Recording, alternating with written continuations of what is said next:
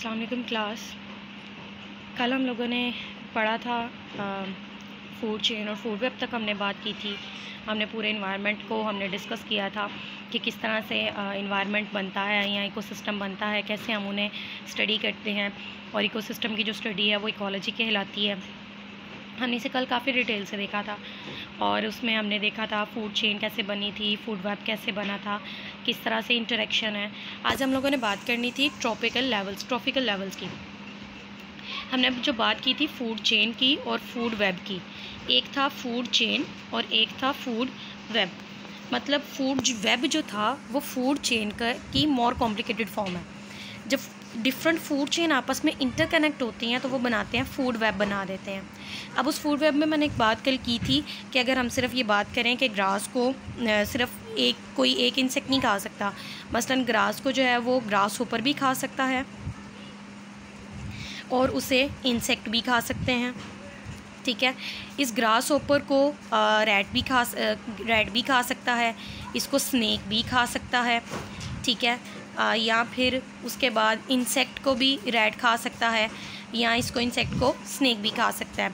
तो ये एक कॉम्प्लिकेटेड फ़ूड चेन बन जाती है। उस फ़ूड चेन को हम क्या कहते हैं? फ़ूड वेब अब जब ये ऑर्गेनिज़म एक दूसरे पे एक दूसरे से इंटर रिलेट करते हैं कि कौन किसको खाएगा कौन अपनी खुराक खुद तैयार करेगा और कौन किसकी तैयारशुदा खुराक को इस्तेमाल करेगा। तो उस बेस पे हमारे पास, उस बेस पे जो इकोलॉजिस्ट हैं, उन्होंने ऑर्गेनिज़म को डिवाइड किया उन्होंने ऑर्गेनिज़म को डिवाइड किया डिफरेंट ट्रॉपिक लेवल्स में।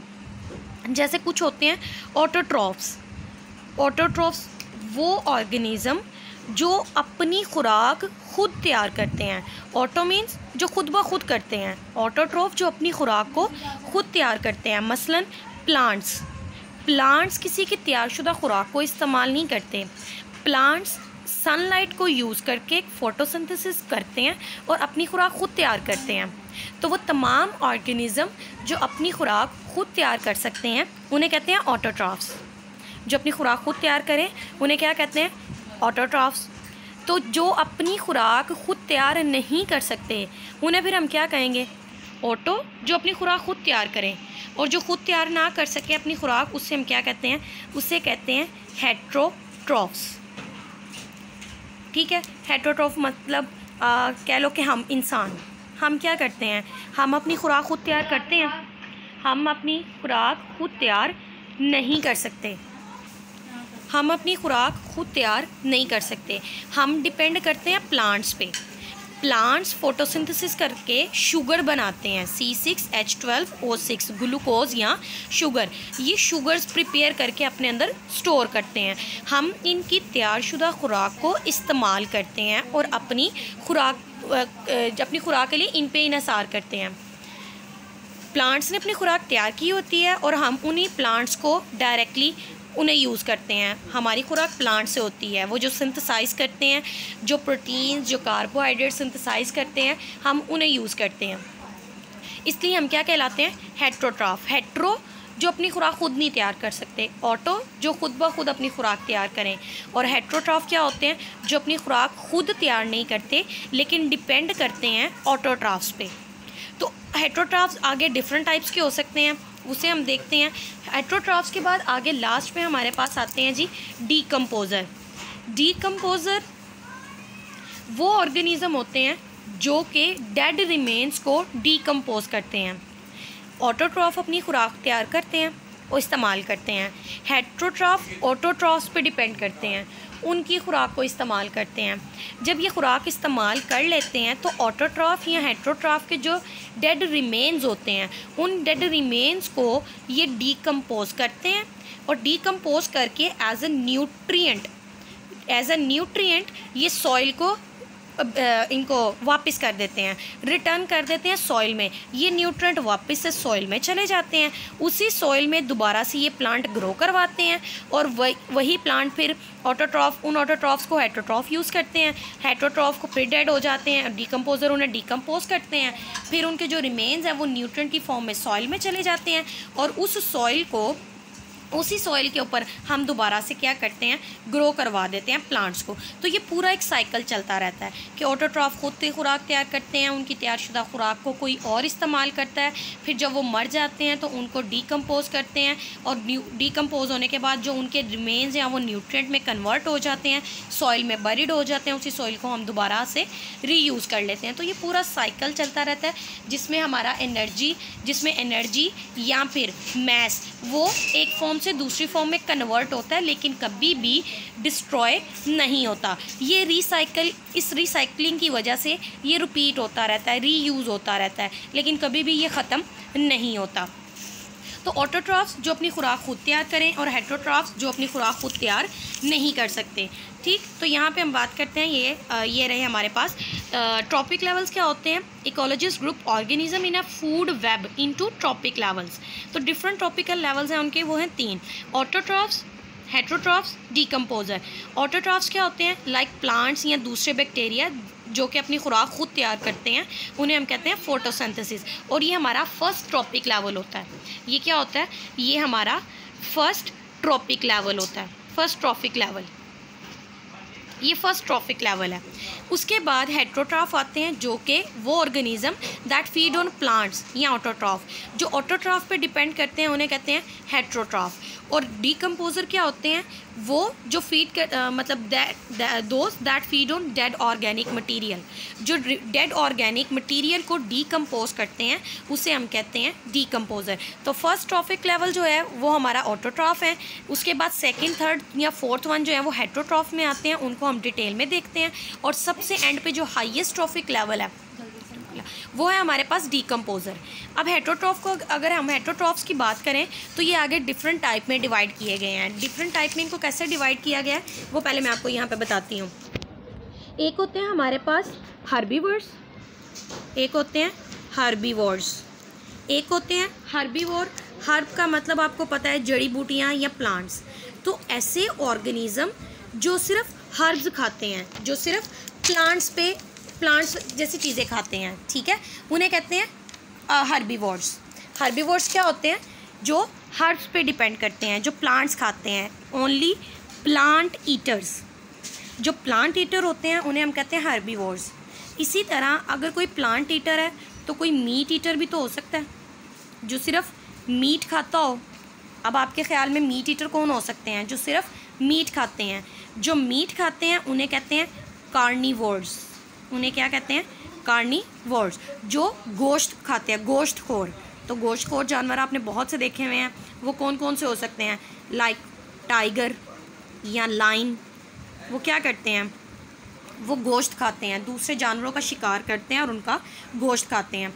तो जो सिर्फ़ प्लांट ईटर होते हैं, उन्हें हम कहते हैं हर्बीवोर्स जो मीट ईटर होते हैं, उन्हें हम कहते हैं कार्निवोर्स और ऐसे जो प्लांट ईटर भी हों, जो प्लांट ईटर भी हों और मीट ईटर भी हों।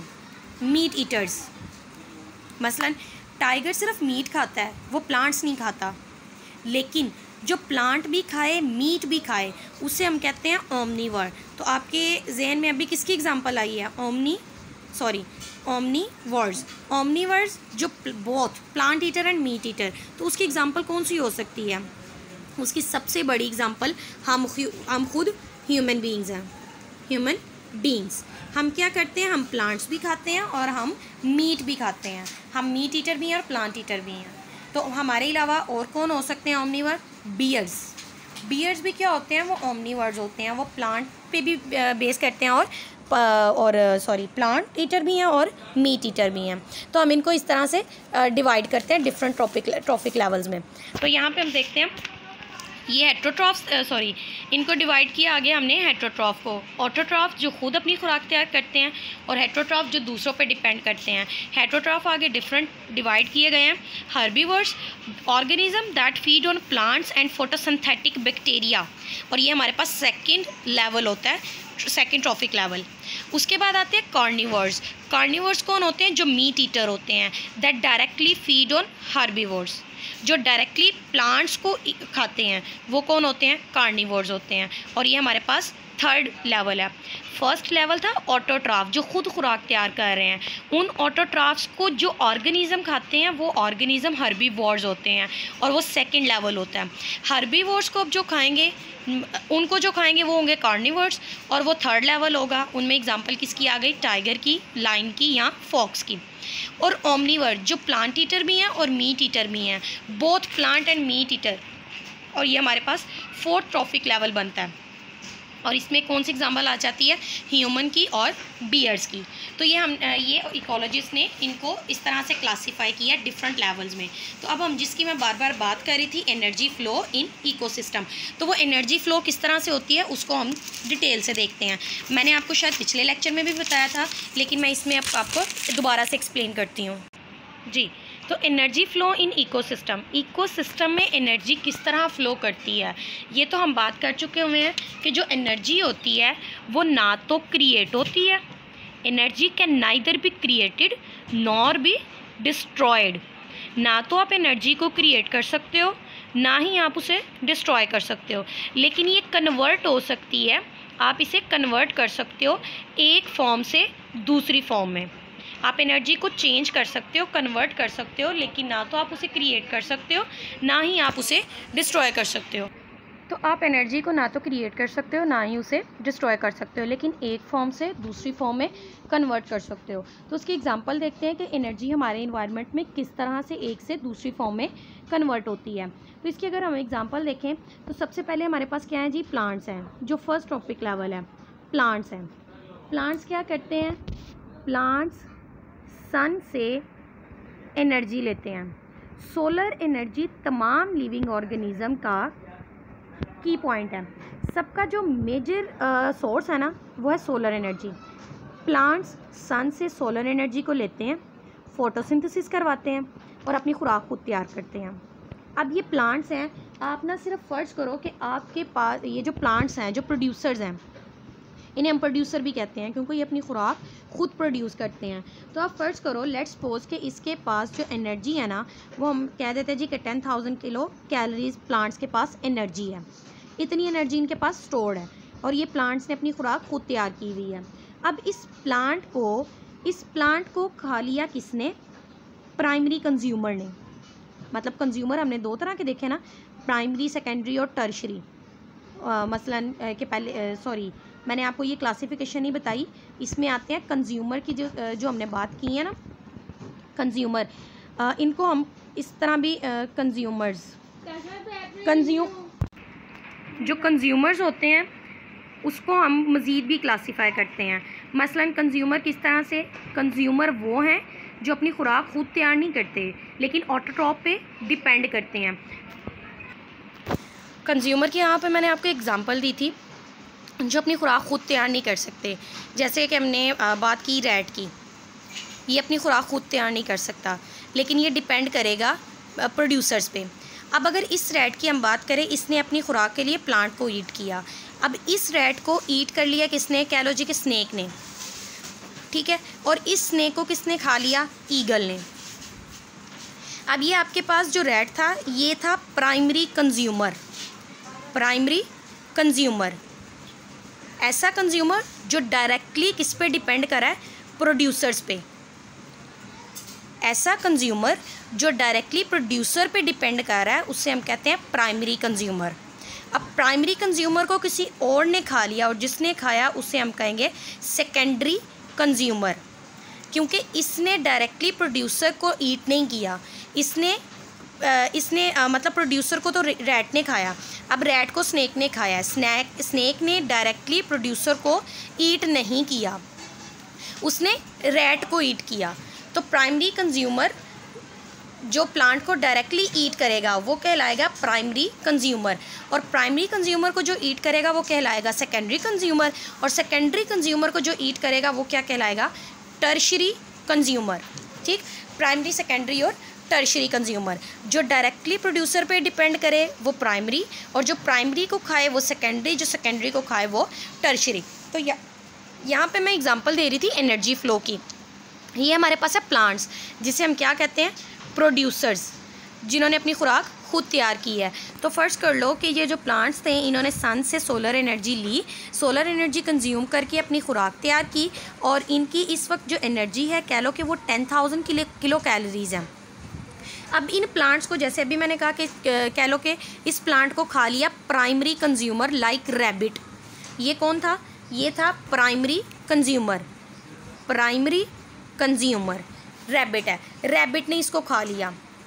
तो हमेशा ये याद रखनी है कि जब भी एनर्जी एक से दूसरे में कन्वर्ट होती है तो टोटल एनर्जी का टेन परसेंट टोटल एनर्जी का टेन परसेंट ये एज आ हीट इन्वायरमेंट में चला जाता है।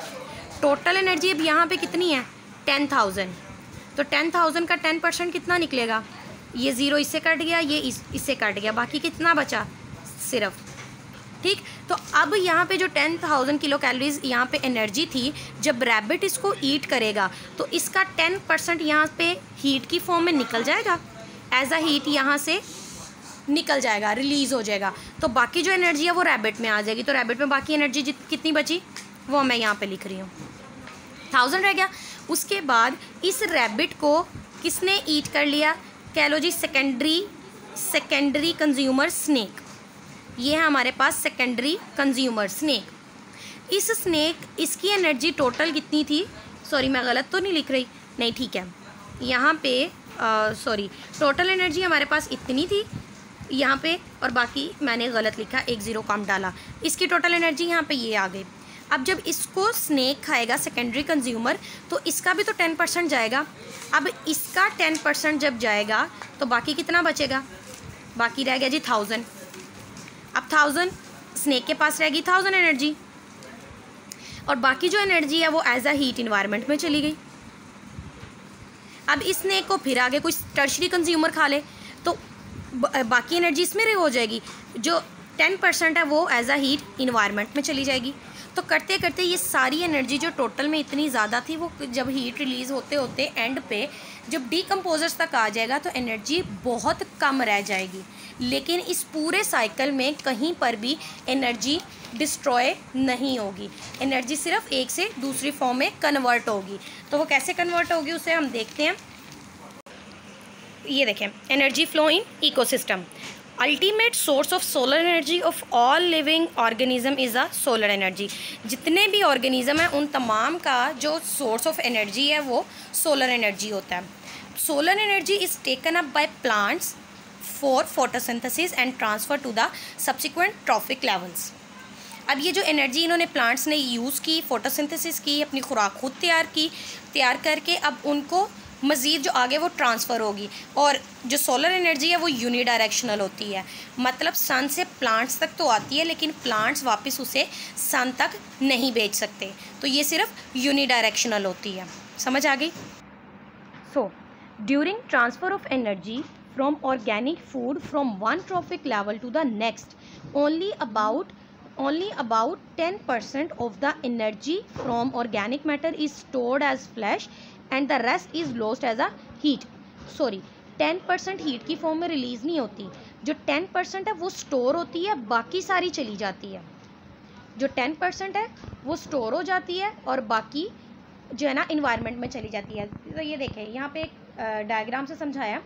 प्रोड्यूसर्स हैं और प्रोड्यूसर कौन है? प्लांट्स हैं। प्लांट्स की एनर्जी स्टोर्ड है। इन्होंने सन से एनर्जी ली। एनर्जी फ्रॉम सन प्लांट्स ने इस एनर्जी को यूज़ किया। अपनी खुराक तैयार की और उस तैयार शुदा खुराक को जब प्राइमरी कंज्यूमर खाते हैं तो अब ये टोटल एनर्जी देखिए कितनी है। इसका टेन परसेंट स्टोर हो जाएगी और वो टेन परसेंट सिर्फ़ कितना बनता है? वो थाउज़ेंड बनता है। वो स्टोर हो जाएगी और बाकी जितनी एनर्जी है, वो सारी की सारी एज आ हीट इन्वायरमेंट में चली जाती है। प्राइमरी कंज्यूमर रैबिट था। अब प्राइमरी कंज्यूमर को सेकेंडरी ने खाया जो कि स्नैक था। अब स्नैक इस टोटल एनर्जी का अब टेन परसेंट हंड्रेड वो स्टोर हो गया और बाकी जो थी वो एज आ हीट इन्वायरमेंट में चली गई। इस सेकेंडरी कंज्यूमर को टर्शरी कंज्यूमर ने खाया जो कौन था? ईगल ईगल ने इसको खा लिया। अब इस एनर्जी का टेन परसेंट स्टोर हो गया और और वो कितनी थी? टेन हंड्रेड का टेन परसेंट टेन बना, वो स्टोर हो गया और बाकी जितनी एनर्जी थी वो एज अ हीट इन्वायरमेंट में चली गई। तो ये इस तरह से हमारे पास इन्वायरमेंट में एक फॉर्म से दूसरी फॉर्म में एनर्जी कन्वर्ट होती है। लेकिन कभी भी ना तो ये दोबारा से क्रिएट होती है और ना ही ये डिस्ट्रॉय की जा सकती है। और मोस्ट इंपॉर्टेंट थिंग ये सोलर एनर्जी यूनिडायरेक्शनल होती है। मतलब ये सन से प्लांट्स में तो आ सकती है, लेकिन प्लांट्स इसे वापस सन तक नहीं भेज सकते। और उसी एनर्जी को फिर फर्दर डिफरेंट लेवल में डिस्ट्रीब्यूट किया जाता है। और बाकी की जो एनर्जी बचती है, वो एज अ हीट इन्वायरमेंट में चली जाती है और उस इन्वायरमेंट का टम्परेचर इंक्रीज़ करवाती है। जिसकी वजह से हमारे इन्वायरमेंट का टम्परेचर डे बाय डे इतना कुछ ज़्यादा होता जा रहा है कि हमारे जो वेदर पैटर्न है, वो एक्सट्रीम कंडीशंस में आ चुके हुए हैं। और इसी, इसका सबसे बड़ा जो इफ़ेक्ट है, वो है ग्लोबल वार्मिंग और वो आपने नाइन्थ में भी पढ़ा हुआ है, इसको हम यहाँ पे दोबारा से देखेंगे। और हम इसे कहाँ पे देखेंगे? नेक्स्ट टॉपिक में। नेक्स्ट टॉपिक हमने स्टार्ट करना है इन्वायरमेंटल पोल्यूशन अब वो जो पोल्यूशन हम स्टार्ट करेंगे, उसमें हम इसको डिटेल में देखते हैं कि वहाँ पे हम डिफरेंट इफ़ेक्ट्स पढ़ेंगे, जैसे एसी ड्रेन है। एसी ड्रेन है और उसके अलावा ग्लोबल वार्मिंग है ओजोन डिप्लीशन है। तो ये सारे इफ़ेक्ट हम देखते हैं। तो नेक्स्ट स्टार्ट करते हैं अपने अगले टॉपिक पे। यहाँ तक तो किसी को कोई प्रॉब्लम नहीं है। इन्वायरमेंटल के जो कंपोनेंट्स थे वो हमने डिटेल से देख लिए। अब हम इन्वायरमेंटल पोल्यूशन की तरफ़ चलते हैं। सो so, हमारा नेक्स्ट टॉपिक है जी पोल्यूशन और पोल्यूशन हम कौन सी देखनी है? इन्वायरमेंट की। जो इन्वायरमेंटल पोल्यूशन है वो किस किस तरह की हो सकती है? और ये डिफरेंट टाइप की पोल्यूशन हो सकती है। तो इन्वायरमेंट में जो भी चीज़ पोल्यूशन क्रिएट करती है हमने उसको डिटेल से देखना है। पहले तो हम बात करते हैं जी पोल्यूशन क्या होता है? पोल्यूशन पोल्यूशन कौन क्रिएट करता है? पोल्यूशन क्रिएट करने के लिए कुछ एजेंट होते हैं। कुछ एजेंट होते हैं जो पोल्यूशन क्रिएट करवाते हैं। जैसे कोई भी पॉलिसी है उसको अगर हम किसी ने जैसे आ, किसी बैंक की पॉलिसी है तो उस पॉलिसी को आगे कर सेल करवाने के लिए उनके कुछ एजेंट होते हैं जो उनको बताते हैं कि जी ये इसके ये पॉजिटिव या नेगेटिव पॉइंट्स हैं। तो उनका काम करवाने के लिए कि वो अपना काम किसी के थ्रू करवाते हैं। और जिसके थ्रू करवाते हैं वो एजेंट होते हैं। तो जो पोल्यूशन क्रिएट होती है, वो भी जिन चीज़ों के ज़रिए होती है, वो क्या कहलाती हैं? एजेंट्स कहलाते हैं। तो कुछ ऐसे केमिकल होते हैं, जिन्हें हम एजेंट कहते हैं, जो पोल्यूशन क्रिएट करते हैं। ऐसे एजेंट जो पोल्यूशन क्रिएट करें, उन एजेंट्स को हम कहते हैं पोल्यूटेंट्स उन्हें हम क्या कहते हैं? पोल्यूटेंट्स ये वो पोल्यूटेंट्स जो हैं, ये पोल्यूशन क्रिएट करते हैं और पोल्यूटेंट हमारे पास केमिकल्स भी हो सकते हैं। होते ही ज़्यादातर केमिकल्स हैं। पोल्यूटेंट्स हमारे पास डिफरेंट टाइप के केमिकल्स होते हैं और वो किस तरह के होते हैं, वो मैं अभी बताती हूँ। अब ये पोल्यूटेंट एक चीज़ होती है पोल्यूटेंट पोल्यूटेंट और एक चीज़ होती है कंटेमिनेंट कंटेमिनेंट पोल्यूटेंट ऐसा केमिकल होता है जो पोल्यूशन क्रिएट करवाता है। ठीक है?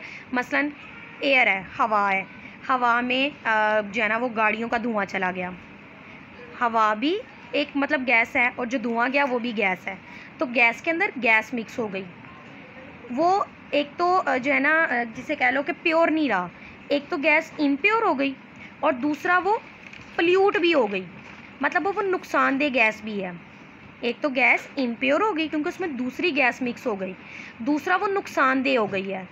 तो ऐसी चीज़ को हम कहते हैं पल्यूटेंट जो इम्प्योर भी करवा दे, जो किसी को इम्प्योर तो करवाएगा करवाएगा, लेकिन उसे क्या कर देगा? हार्मफुल भी बना देगा।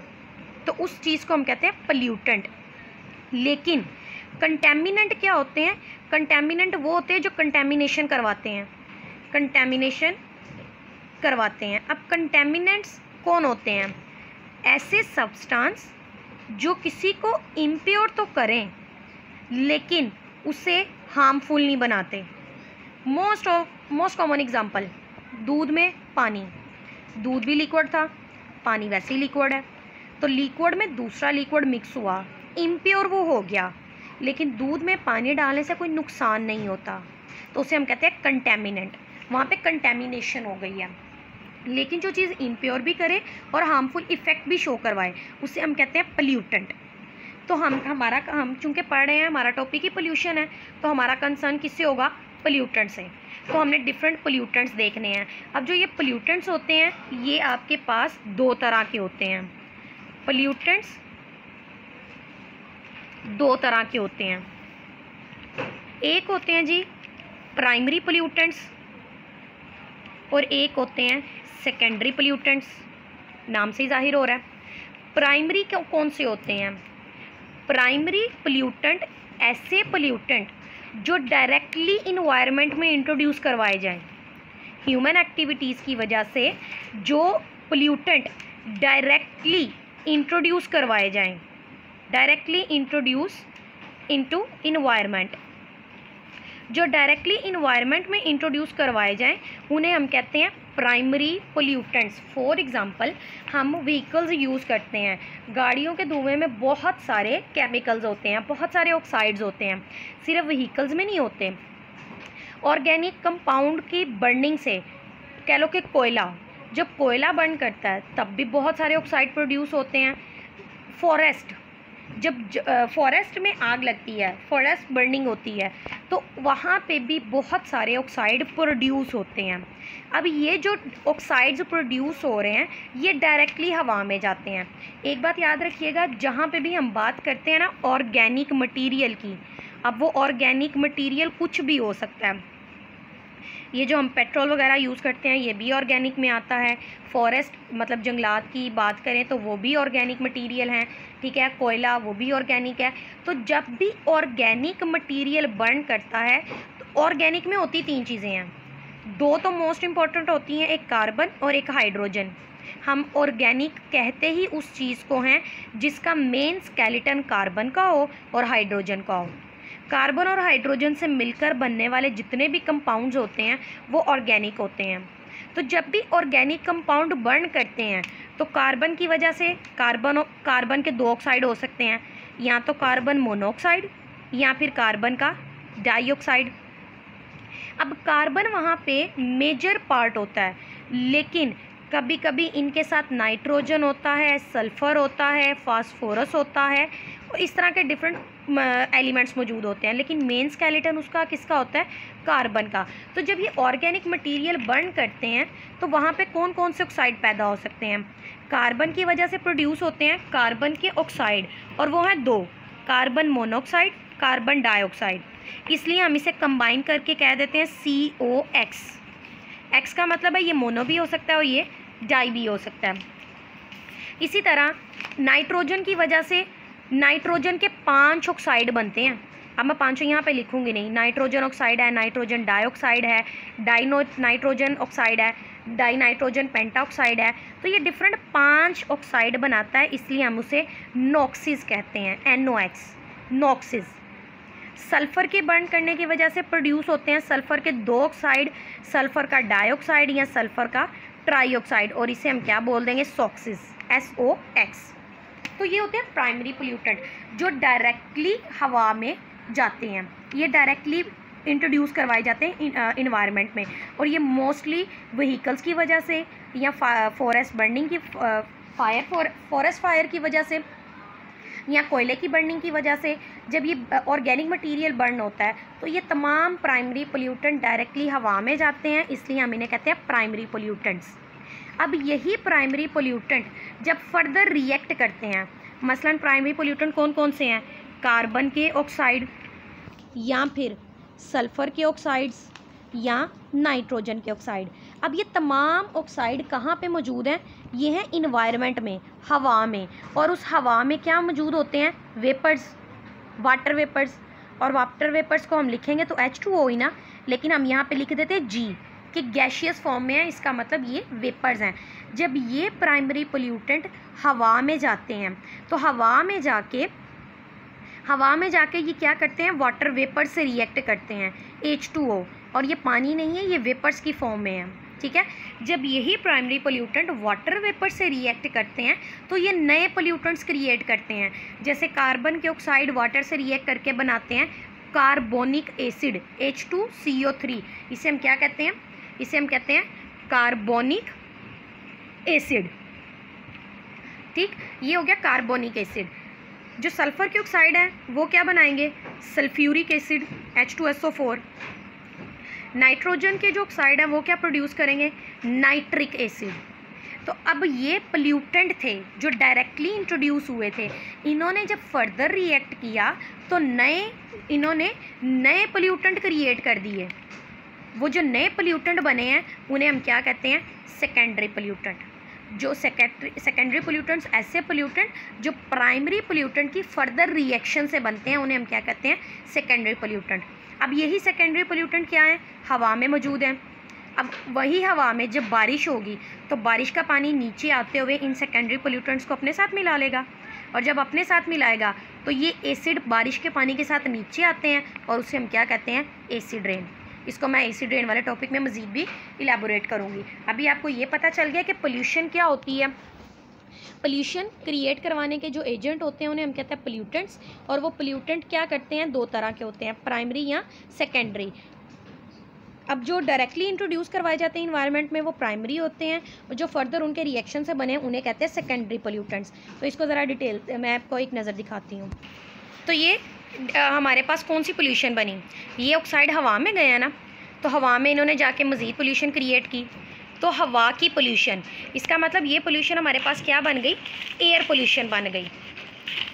ये हमारे पास कौन सी पोल्यूशन है? ये हमारे पास बन गई एयर पोल्यूशन तो अगर एयर पोल्यूट हो सकती है तो आपके ख्याल में किसी और तरह की पोल्यूशन नहीं हो सकती। तो डिफरेंट टाइप की पोल्यूशन होती है। मैंने जस्ट आपको पोल्यूशन को भी एक्सप्लेन किया है। अगर हम टाइप्स देखें पोल्यूशन की तो हमारे पास एयर की पोल्यूशन हो सकती है, हमारे पास वाटर की पोल्यूशन हो सकती है, या फिर लैंड की पोल्यूशन हो सकती है। ओशन की ओशन की पोल्यूशन वो तो खैर वाटर पोल्यूशन में भी आ जाएगी। इसके अलावा एक नॉइज़ पोल्यूशन भी तो होता है। तो ये जो डिफरेंट टाइप की पोल्यूशन हैं, हम इनको वन बाय वन देखेंगे भी। अभी हम सिर्फ़ पोल्यूशन का आज हमने जो है ना, वो इंट्रो देखा है कि पोल्यूशन होती क्या है और इसको क्रिएट कैसे करवाते हैं एजेंट्स किस तरह से देखते हैं, इसको एक नज़र देखते हैं तो ये देखें, ये है जी हमारे पास ये है हमारे पास इन्वायरमेंटल पोल्यूशन इन्वायरमेंटल पोल्यूशन क्या है? Any undesirable change in physical chemical और biological characteristics of air land water and soil अब पोल्यूटेंट्स क्या होते हैं? एजेंट्स दैट कोज पोल्यूशन और ये दो तरह के एक प्राइमरी और एक secondary that are directly introduce in environment primary और जो प्राइमरी पोल्यूटेंट के फर्दर रिएक्शन से बने सेकेंडरी पोल्यूटेंट वो मैंने नीचे एग्जांपल दी कार्बोनिक एसिड सल्फ्यूरिक एसिड और नाइट्रिक एसिड अब टाइप ऑफ़ पोल्यूशन है जी पोल्यूशन डिफरेंट टाइप की हो सकती है, मसलन एयर की पोल्यूशन हो सकती है नॉइज़ की पोल्यूशन हो सकती है सॉइल की पोल्यूशन हो सकती है ओशन की वाटर की लैंड की थर्मल की।